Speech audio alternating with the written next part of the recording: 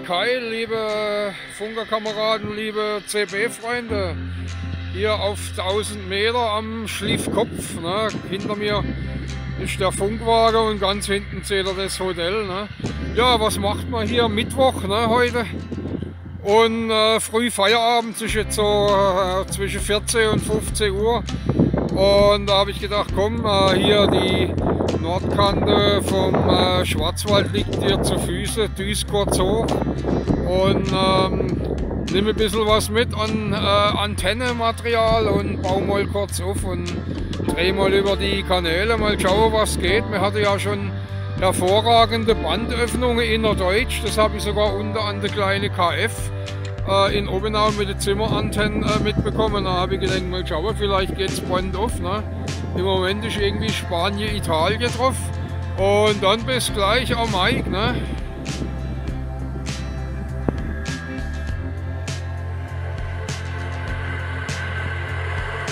Ja, unter deutscher Flagge am Schliefkopf der Funkwagen.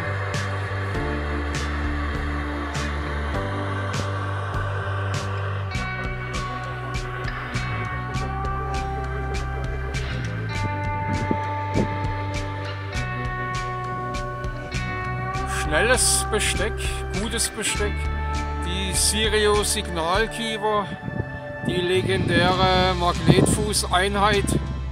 Na, da bin ich ja schon von der Zuflucht rübergekommen in die USA mit 12 Watt SSB.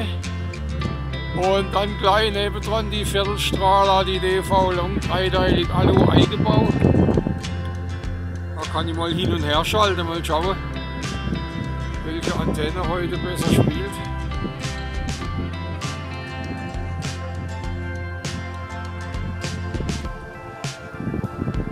Vorteil hier unter der Woche ist halt, ne, es ist niemand da. Parkplatz, der Wanderparkplatz unterm Schliffkopfhotel ist leer. Da habe ich gedacht, Mensch, Mittwoch hast du mittags frei. Heute Morgen noch QLS, äh, Geschäft noch ein bisschen was rum, rumgeschraubt und dann denke ich, komm, start durch. Das Hobby ruft. Ne?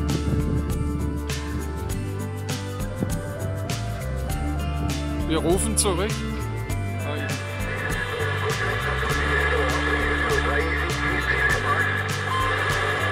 Ja, Roger, ist alles angekommen. 370 Petri Heil, guter Fang. Ne? Dass es was gibt hier oben in der Pfanne. Ne? Da war jetzt noch ein Break, das war glaube ich ähm, der Foxtrot 68. Also Schwarzwaldelch 370 zu dir an der Angelsee. Ne? Ciao, ciao. Alles klar, Zeichen dir, schöner Gruß, deine Richtung mit. Alles klar, mache ich, ja. Ähm, das Break bitte. Gut, jo, ich 370 an, an die Station.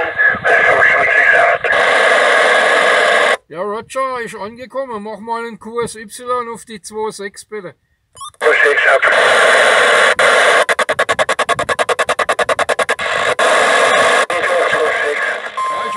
Gerade im QSO mit dem Schwarzwaldelch. Der ist unten in Schudern irgendwo am Baggersee. Ähm, der ist dort äh, mit, der, der hat fünf Achtel ausgeschwungen. Der ist am Angeln ne, dort und ähm, dem, von dem soll ich dann noch viele Grüße sagen. Da hätte ich gerade nicht gehört.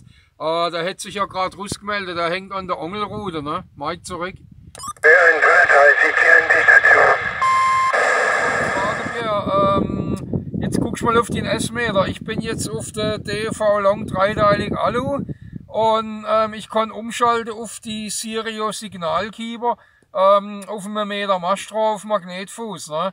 Also jetzt guckst mal, ich immer, jetzt bin ich auf der auf, das, äh, auf der DV Long, äh, das Mike zu dir. Gut, gut. Du kommst bei mir an in Santiago. Please, Radio Please. Okay, ich schalte mal um, Moment.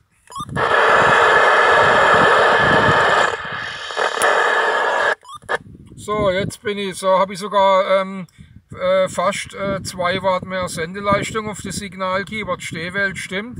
Jetzt guckst du mal, wie es jetzt ist. Ob es jetzt noch ähnlich ist, schlechter oder besser. Mike zurück. Tiago, ein Siebel weniger, ein Siebel weniger. Radio, ein Siebel mehr. Ähm, das war jetzt gerade negativ. Kannst du noch mal wiederholen, bitte? Der Santiago mäßig. Ein Stelle weniger, ein Stelle weniger. Ähm, du meinst ähnlich, dieselbe Werte? Okay, Roger hat sich nichts verändert, ja. Ja, das sind ja beides Viertelstrahler und natürlich idealerweise haben die jetzt beide auf dem Auto. Ne? Man soll ja normal immer nur eine Antenne oder da eine große Abstand halten, aber ähm, die Werte sind gleich, ne? 4,4 hast du gemeint, ne? Das ist ja nicht schlecht, Mike, zurück. QRX. Yes, das da war QRX, das QRX kommt. Also Tommy, 73. Yes, das ist die Legende, die Foxtrot Echo Tango Zulu. Gerade haben wir es von der Kette, Mike, zurück. Ja, Roger, Absprung bitte das Giftswerk KF im Moment. Ja, Roger, da haben wir es gerade von Kette IKF von Pierre, ne?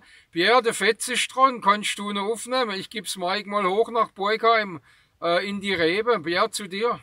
Ich bin in der Fenster, ich bin in der Fenster, kann ich, kann ich lassen. Ja, Michael, das war jetzt Stereo. Hörst du den de Foxtrot 6.8? Mike, zu dir, äh, Michael. Nee, höre ich nicht. Ich bin ja in Overburg, weißt Ich war gerade ins Kaufland, ins, ins Kleine. Aber der, der, der Foxtrot 1.8, den kriege ich nicht hier. Ja, du bist in der City unterwegs. Okay, ja, er hört dich ja nicht. Ja, du hast die KF ähm, jetzt im Auto in Betrieb oder wie, wie soll ich mir jetzt das vorstellen? Mike, zurück. Ja, die Giftswerk KF, die liegt bei mir im Fußraum und auf Beifahrerseite im Betrieb, ja. Ja, und wie machst du das? Da ist ja ähm, ein Netzteil eingebaut für 220 Volt. Ja, wie machst du das jetzt mit der Stromversorgung? Hast du noch ein Netzteil eingebaut, wo Ding, wo mit 12 Volt läuft? Ah, das ist ja legendär, ne? das ist ja prima. Äh, von der Außenmaße, wir haben es ja schon mal davon gehabt, Björn, ich, die ist ja dann ein bisschen länger, ne? so wie die Universum ähm, Funkgeräte. Da gibt es ja auch die Universum Mobil und die Universum ähm, KF. Ähm, damals die, die 12 Kanal AM, ne? Mike zurück und eben die KF ist ja länger, ne? Ja, die ist schon breiter, viel breiter, weil noch, äh, weil noch ein Ding drin und drin ist ein Selektivruf. Ah, Roger, Roger, ich werde irgendwann mal so ein Universum-Video machen. Ich habe ja die Universum KF daheim von Ebay günstig, schon länger. Und dann habe ich noch eine Universum Handquetsche, Dreikanal. Und jetzt fällt mir noch eine Universum Mobilkiste HI, ne? Ja, die glaub was. Das waren die Schrottdinger. Ja, damals war das für uns, waren die Geräte alle wertvoll, ne? Ja, Pierre, hörst du irgendwie was vom Fetz? Der ist in Overburg mit dem Auto unterwegs. Pierre, zu dir? Negativ, negativ kann ich aber nicht aufnehmen. Roger, Roger. Ähm, also Pierre, der Pierre hört dich nicht, Michael. Ne?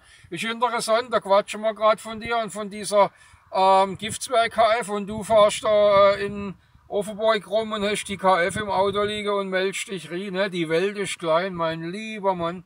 Ja, klar, gell? Der will für 40 Euro ein bisschen abgekauft. Ja, Roger, und ich hatte ja auch so ähm, da von deiner ähm, naja, Ex-Oberwelle, kann man ja bald sagen, ne, hatte ich ja äh, vor zwei Jahren die Mobil-Giftswerk abgekauft. Ich weiß gar nicht mehr, 50 Euro, irgend sowas, ne, Mike zurück. Ja, Roger, genau. Ja, das war super günstig, die 40 Euro. Ja, das war fair, das war sehr fair, ne. Ja, und deine äh, Mobil-Giftswerk ist kaputt im Moment, oder was ist da los? Und, und da fu- funktioniert sie nicht mehr. Ah, Roger, ja, verstehe ich, verstehe ich, ne. Ja, Pierre, ne, der Michael kommt gut darauf, der macht äh, auch eine Santiago äh, 6 und ein Radio 4 bis 5, ne. Was hast jetzt du da für eine Antenne auf dem Auto, Michael? Da habe ich die drauf von den, äh, von eine Stereo-Antenne, äh, eine, eine 1,50 Meter lange. Ja, Roger, ja, das ist jetzt Santiago 7 Radio 5 ohne Störungen, ne? Das spielt ja super. Im Moment bin ich jetzt auf der, auf der Sirio Signalgeber Stationsantenne mit einem Meter Mastrohr äh, auf Magnetfuß und hab- kann aber auch noch umschalten auf die DV Long. Ne? Ich habe zwei Viertelstrahler hier auf dem Auto und stehe am Schliefkopf hier schön im Grünen, ne, sozusagen. Ne? Ich gebe dann das Mike mal zum Pierre. Pierre, zu dir. So, ich, ich habe den Kaiser den 12 Volt angebracht. Ja, Roger, Roger. Wenn das so weitergeht, dann kommt noch halb Deutschland zu dir, Bier, und kauft Funkgeräte HI, ne?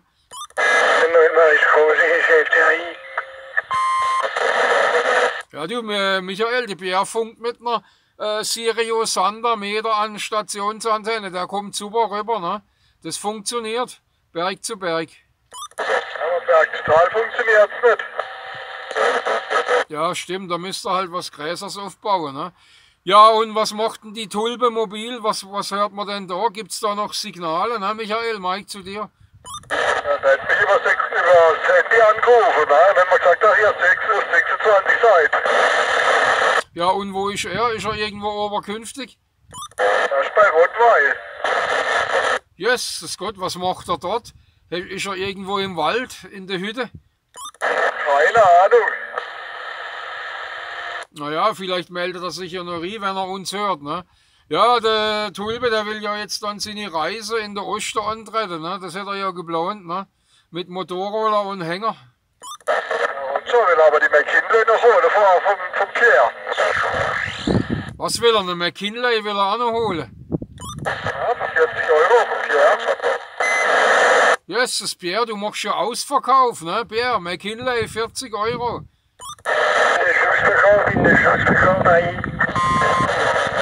Ausverkauf bei Foxtrot 68. Jesus Gott, ist ja Wahnsinn, ne?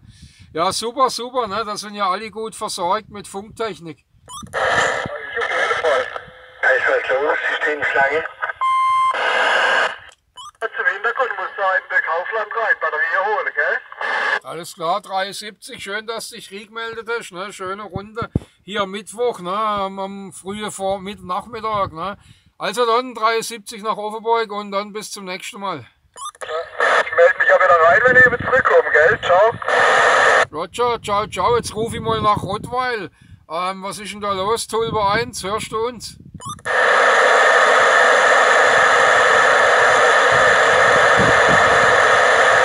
Nee, da hört man nichts, Pierre, da hört man nichts. Bist du schon länger oberkünftig, Pierre? Jetzt ist nicht mehr ich bin gerade angekommen. Gerade angekommen. Ja, Roger. Ja, sag mal, diese Stationsantenne da, die, äh, diese Sander, Sirius Sander, ähm, die hört auch gut, ja? Hast du guter Empfang bei dir, ja? Richtig, ein sehr guter Empfang mit, dem, mit der Antenne. Roger, diese Antenne wurde ja von vielen verflucht, ne, dass die nichts taugt und keine Reichweite hat und nichts hört, aber auf dem Berg spielen die ganz gut. Ich habe die ja auch schon alle hier oben gehabt. Ne. Ähm, die Michael hörte ich jetzt unten zwar nicht, aber ähm, hier von Berg zu Berg ist das optimal. Ne. Und an die kalte Gifte habe ich einen 12 Volt Adapter angebracht. Ja, Roger, ich habe ja hier diesen äh, Upstepper äh, hier bei mir in der Elektrobox. Der hängt ja da und macht aus diese magere 12 Volt von der Bleisäurebatterie. Ähm, habe ich hier immer ähm, 13 Volt oder noch ein bisschen mehr, ne? Mike zurück. Ich habe eine LKW Batterie im Kofferraum. Ja, Roger, stromversorgungsmäßig äh, gab es bei dir eigentlich kaum Probleme, ne? so wie ich das jetzt in Erinnerung habe. Ne? Ich hatte nur selten Probleme, nur selten Probleme. Ja, ich will mal den Rucksack mitnehmen. Ich habe mir da mal was zusammengebastelt mit so einem kleinen Eremit-Akku. Und dann will ich mal da rauffahren und laufe mal irgendwo in Pampa und nehme den Glasfiebermast mit und Kabelantennen. Äh, und dann hocke ich mich mal irgendwo mitten in den Wald mit dem Campingstuhl HI. Ne?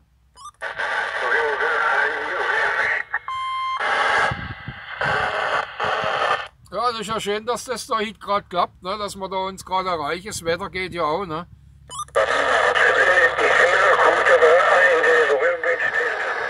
Die Ja, Roger, ich habe halt den MM27 hier im Antennekabel und ähm, der hilft mir halt wie bestimmte Antenne, wenn es dann über 80 Kanäle geht, ähm, dann kann ich halt doch ein bisschen nachstellen. Ne? Das ist halt dann doch, ähm, äh, ähm, doch immer wieder besser, wenn man dann die Stehwelle ein wenig korrigiert. Ne?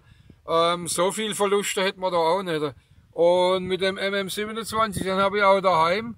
Das funktioniert, ne? also da kann man mit leben. Ne? Allerdings, ich tue die große Stationsantenne, wenn ich die hier aufbaue am Funkwagen, ähm, dann fahre ich auch direkt pur ähm, mit einer idealen Stehwelle ähm, vom Funkgerät direkt in der Antenne. Ne? Mike zurück.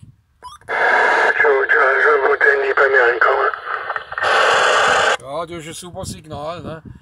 Laut und deutlich und äh, die Störungen sind jetzt auch, also die Stationsantenne, die bringt nichts mit großen Störungen. Das funktioniert. Ne? Sirio Sander, ne? das ist, äh, ist, hört sich ja schon mal gut an. Okay, ich habe nur also 10 Meter Band, 10 Meter Band, QAX-Gerät. Ja, jetzt war da noch ein äh, QAX-Bär. Ich lasse das QAX mal rein. Ja, grüß Station Kujo hier. Mikrofon der Thorsten, Kuja Uttenhöfen. An der Hochstraße? Servus, äh, Station Kujo. Ähm, Thorsten, grüß dich. Ja, ich bin am Schliefkopfhotel, habe ich gerade Halt gemacht. Ähm, du machst hier ja eine 7.5, ne?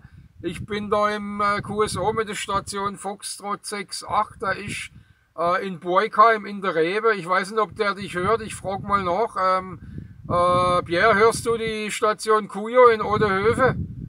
Jetzt, jetzt ist, kann ich nicht aufnehmen. 73 an die Station trotzdem. Jawohl, Roger. Ja, 370 nach Odehöfe von äh, Boikheim aus der Rebe. Ne? Äh, Thorsten, das Mike zu dir. Ja, danke dir, danke dir. Du, ich äh, hab dich doch gerade gehört. Ja, ich äh, bin der Ottehöfe Richtung Allerheilige. Äh, und äh, ja, daheim äh, quasi, aber ich höre leider da von dem Pierre da auch nichts. Die 73 zu ihm äh, in seine Richtung. Ja, du, äh, du bist ja der Lassie, gell? Roger, Lassie 01, ja. Ähm, ja, ich äh, habe heute Mittag frei, frei äh, dann habe ich gedacht, ich fahre noch gerade ein bisschen rauf. Habe noch zwei ähm, Viertelstrahler auf dem Auto ähm, und habe da ein bisschen äh, getestet noch und jetzt haben wir da schon ein paar äh, QSO gehabt. Ist immer was los, ne, HI, ne, Mike zurück. Ja, Roger, Roger, du warst du äh, vor zwei Tagen auch QRV, also da war ja die Hölle los. Da war ja voll das äh, DX Richtung Hamburg, Bremen, Berlin, äh, ja, in die Richtung Holland habe ich gearbeitet, also war recht gut. Ja, Roger, ich habe das mitbekommen. Ich war leider nicht der Russe. Ich habe daheim ähm, äh, Aldi DV27 auf dem Heizkörper und habe daheim abends, das war ja später oben dann, ähm, habe da die ganze Stationen gehört, Berlin, äh, Brandenburg und so weiter, Küste, das war prima. Die, äh, die habe ich unten oben auch wunderbar aufnehmen können, ne? Mike zurück. Ja, Roger, Roger, ja, das war richtig schöner Ober, aber bei mir war er nur kurz. Ich habe äh, nur eine halbe Stunde ungefähr gemacht hier. Und ja, habe da vier, fünf, sechs Stationen gearbeitet. Äh, Berlin, Hamburg, Bremen, dann war Holland noch dabei. ich äh, bin auch gerade so ein bisschen am Filmen wegen der Antenne eigentlich. Ähm, soll ich dich mal mitschneiden, dann hörst du dich im Video HI, ne?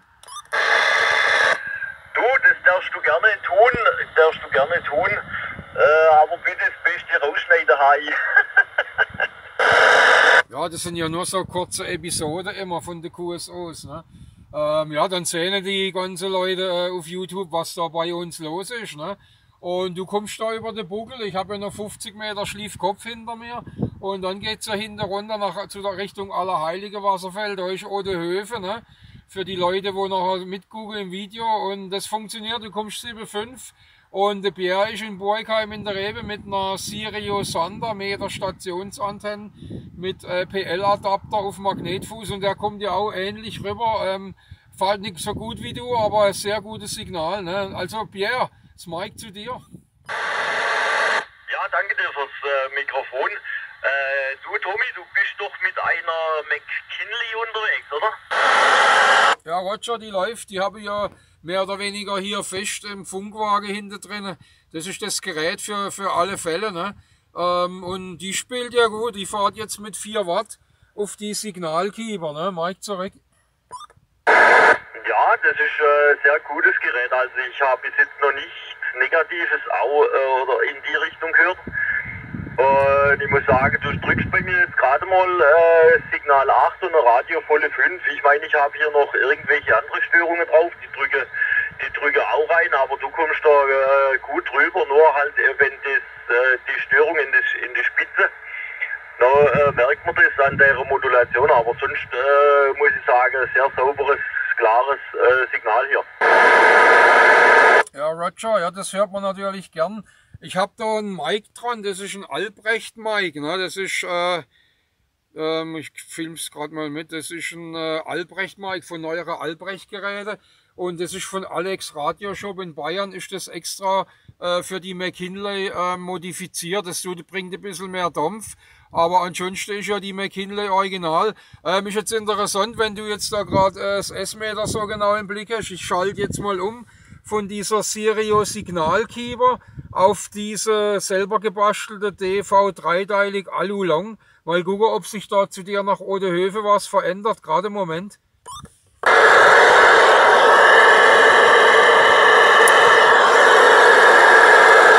So, jetzt muss ich, äh, Moment, muss ich die Stehwelle ein bisschen nachstellen. Die geht mir da ein bisschen fort. Äh, gerade ein bisschen. So, jetzt, äh, ja, ich muss noch ein bisschen an der Stehwelle was drehen. Gerade im Moment, da habe ich den Matcher, weil die Antennen sind doch ein bisschen unterschiedlich jetzt von der Kabellänge und ähm, so weiter. Ne? Aber jetzt kommen wir nach. Ja, wie sieht's denn jetzt aus? Jetzt bin ich auf dieser DV Long eingebaut. Ist das Signal noch äh, ähnlich wie mit dem Signalkeeper Mike nach Odehöfe? Danke dir fürs Mike, äh, Tommy. Ja, äh, das Signal ist ähnlich äh, ich weiß nicht, inwieweit du äh, das S-Meter kennst von der George 2. Die hat ja so, so Balkenanzeige. Und äh, ich, ich muss jetzt sagen, du bist ja gleich wegen gefallen. Du bist ja gleich wegen gefallen, was das äh, Signal angeht, Roger. Ja, Roger, ja, super, ne, für die Info. Ähm, ich habe bei dir jetzt auch ein bisschen Rauschen drin, wegen dem schalte ich jetzt wieder um auf die Signalkeeper, gerade im Moment. Äh, wie kann man den Live-Pro-Akku laden?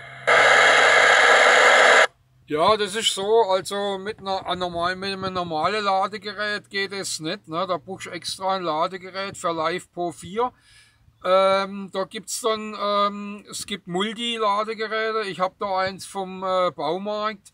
Ähm, das fragt dann, wenn Batterie, wenn es an der Batterie hängst, äh, was willst du laden und dann kannst du auf, ähm, auf Live Pro 4 umschalten und dann ähm, kannst du damit mit 4 Ampere äh, laden. Allerdings die kleineren LivePro-Akkus, wo ich da habe, die lade ich mit so einem ähm, na, mit so einem Stecker, mit so einem Steckerladegerät extra für LivePro 4 und eben für das, das habe ich mitgekauft mit, mit dem Eremit-Akku.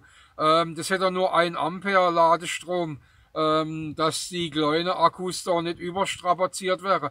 Da steht auch irgendwie in der Anleitung, äh, man soll äh, maximal 1 Ampere oder 4 Ampere Ladestrom nehmen. Ne? Ja, Roger, Bär, Roger, dann die 73 zu dir, ne? Und dann hätte mich gefreut, dass wir uns erreicht haben und äh, lasst das schmecken, ein guter Vitaminkurs oder heim bei der Oberwelle. Bis zum nächsten Mal. Ciao, Cheerio zu dir, Bär. Mike, nochmal zu dir fürs Finale. Ich bin nochmal für uns zurück. Aber bald wieder ein Bände. Vielleicht morgen früh, halb neun. Ja, Roger, wenn ich über den Pass fahre, ich rufe mal nie. Also, mach's gut, Cheerio, bye bye. Dabei an der anderen Station auch. Roger, ich richte aus. Ciao, ciao.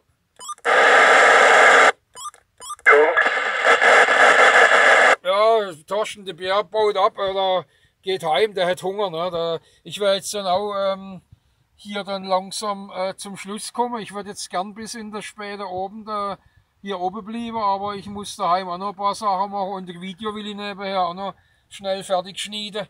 Äh, die Zeit muss ich nutzen, weil morgen bin ich wieder den ganzen Tag auf Kuh lästig. Ne? Mike, zurück nach Odehöfe. Ja, danke fürs Mike. Ja, äh, grüß mich auch der Pierre 73 von meiner Seite in, äh, in seine Richtung. Schade, dass es nicht funktioniert hat. Vielleicht klappt es irgendwann, wenn ich mal oben stehe auf dem Berg. Äh, du, äh, Tommy, ich wünsche dir was, 73 zu dir und hat mich riesig gefreut, äh, dass wir uns auch mal wieder hier getroffen haben. Ja, Roger, Roger, ja, hat mich jetzt auch sehr gefreut. Ne?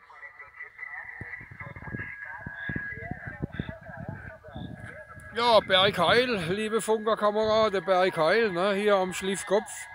Ja, ne, unverhofft kommt oft. Mittwoch, früher Nachmittag hier, schöne Runde.